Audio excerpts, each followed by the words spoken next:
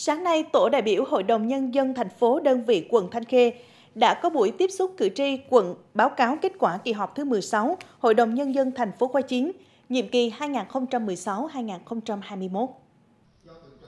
Báo cáo với cử tri, Tổ đại biểu Hội đồng Nhân dân thành phố đơn vị quận Thanh Khê cho biết, kỳ họp thứ 16 Hội đồng Nhân dân thành phố Khóa 9 đã tập trung thảo luận nhiều nội dung quan trọng, qua đó đã thông qua 39 nghị quyết, trong đó đã xác định các mục tiêu và giải pháp phát triển kinh tế xã hội thành phố cho năm 2021, cũng như chặng đường 5 năm đến. Tại kỳ họp cũng đã kiện toàn các chức danh chủ chốt của Hội đồng Nhân dân thành phố.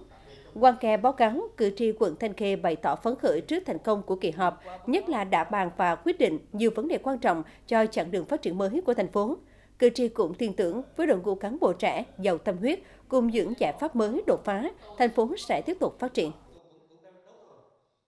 Tôi thấy cái đội ngũ cán bộ lãnh đạo của chúng ta trong thời gian qua sau khi đạo đảng của thành phố cho đến bây giờ thì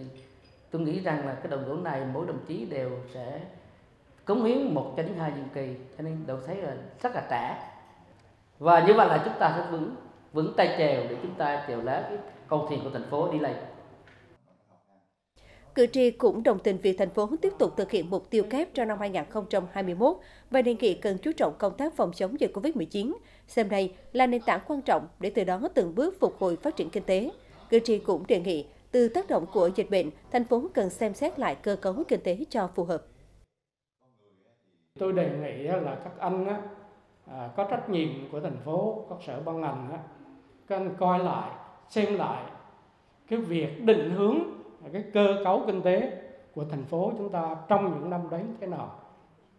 Năm đến thế nào? Trong những 5 năm đến 10 năm đến hai ba chục năm đến nên thế nào? Cho nó bền vững. Phát triển bền vững là cực kỳ quan trọng. Và nó phụ thuộc vào định hướng cái cơ cấu kinh tế của thành phố. Cử tri quận Thanh Khê cũng đề nghị thành phố cần tiếp tục có nhiều chính sách hỗ trợ doanh nghiệp thực chất hiệu quả hơn, đẩy mạnh đầu tư công để khơi nguồn cho phát triển, lưu ý các dự án chậm triển khai. Nhiều ý kiến cử tri cũng đề nghị cần tăng cường công tác quản lý trật tự đô thị, đảm bảo an toàn giao thông, vệ sinh môi trường.